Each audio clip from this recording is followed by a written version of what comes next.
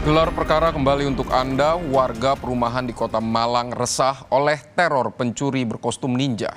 Kejadian tersebut sudah tiga kali terjadi di wilayah itu.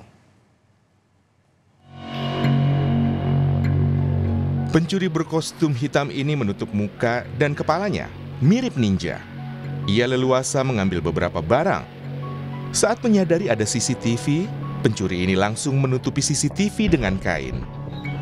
Usai mencuri dan keluar dari rumah korban, pencuri ini melepas kostum ninjanya dan memakai baju biasa. Wajah pencuri ini pun terlihat jelas. Pencurian ini terjadi di perumahan Jalan Candi Mendut, Kota Malang pada Rabu subuh.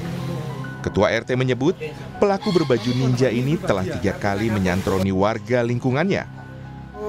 Jam 4 ya, pas waktu sholat subuh. Jadi warga ini kalau sholat subuh kan di masjid ya, suami istri ke masjid sehingga dia sudah tahu rumahnya kosong sehingga muncul itu masuk gitu. Pak, ini sudah kejadian keberapa dan apakah ini uh, sudah lebih dari satu kali Pak pencuri dengan kostum ninja ini? Ya, yang terekam oleh CCTV itu yang ketiga ini. Ya. Yang ketiga dan pakaiannya hitam-hitam seperti ninja.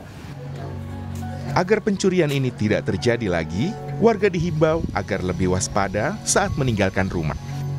Hilda Nusantara, Kompas TV Malang, Jawa Timur.